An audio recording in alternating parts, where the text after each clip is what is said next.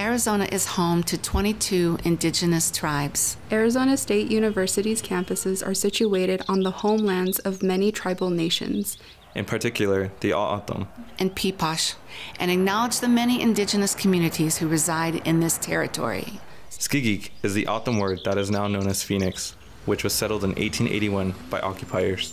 The ancestors of the O'odham, the Huhugam, created canals and utilized surrounding rivers that are the basis of the current irrigation system that feeds Skihigik today.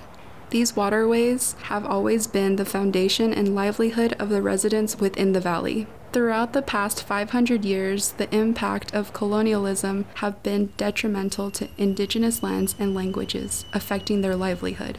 Many people who live in the Southwest are unaware of this history. Furthermore, ASU's indigenous student community consists of over 3,000 strong, not including faculty, staff, and alumni who continue to thrive, educate, and advocate for the strengthening of indigenous ways of life. As the O'odham call it, Himdak, the way of life for the O'odham, encompassing their culture, traditions, identity, and being.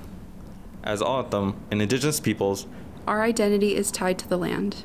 Like our own bodies, we must respect and care for it, and we urge everyone to do the same. We challenge you to educate yourself about the history and the communities who continue to thrive today. Moving forward, it is vital to honor and respect that you are always on Indigenous land.